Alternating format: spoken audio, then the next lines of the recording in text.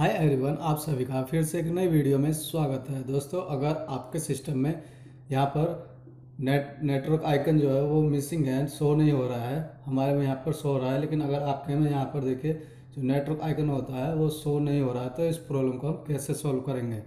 तो आज के इस वीडियो में यही जानेंगे। तो इस वीडियो को अंत तक ज़रूर देखेगा तो चलिए वीडियो शुरू करते हैं, लेकिन उससे पहले आप सबसे एक छोटी सी रिक्वेस्ट है। अगर आपने अभी तक हमारे यूट्यूब चैनल को सब्सक्राइब नहीं किया तो सब्सक्राइब कीजिए और बेल आइकन को भी ज़रूर प्रेस कीजिए।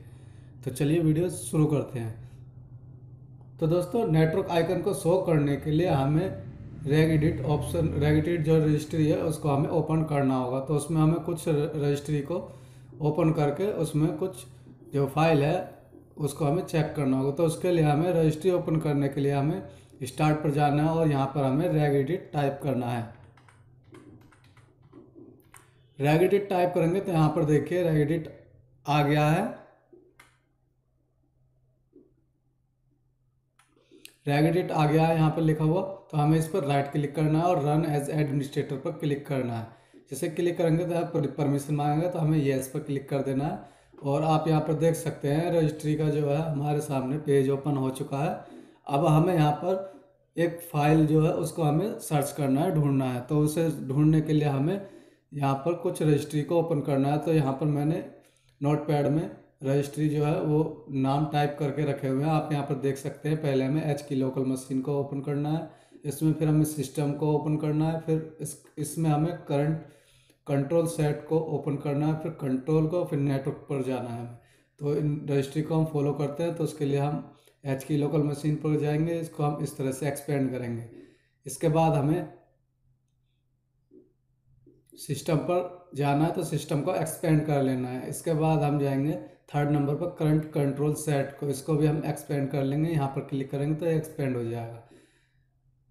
इसके बाद हमें कंट्रोल को एक्सपेंड करना है तो कंट्रोल ये रहा, इस पर हम क्लिक करेंगे तो ये एक्सपेंड हो चुका है, और इसमें काफ़ी सारी रजिस्ट्री हमें देखने को मिल रही है। तो हमें नीचे आना है, और हमें नेटवर्क जो रजिस्ट्री है, उसको ओपन करना है। तो यहाँ पर नेट नेटवर्क है।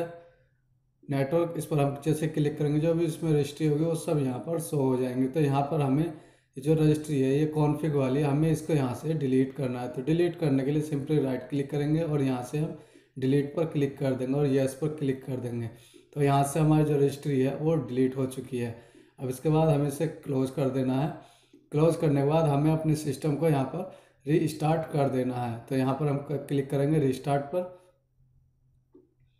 तो जैसे आप अपने सिस्टम को रिस्टार्ट करेंगे तो रिस्टार्ट करने के बाद आपकी ये प्रॉब्लम सॉल्व हो जाएगी और आपके जो विंडो सेवन टास्क बार में जो नेटवर्क एडाप्टर था, वो यहाँ पर देखिए शो हो जाएगा। आप इस कमांड को फॉलो कीजिए, आपकी प्रॉब्लम हंड्रेड परसेंट सॉल्व हो जाएगी।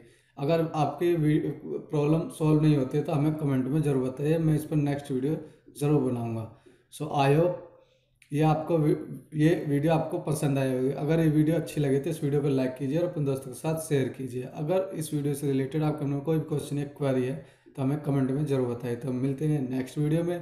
तब तक के लिए बाय बाय जय हिंद।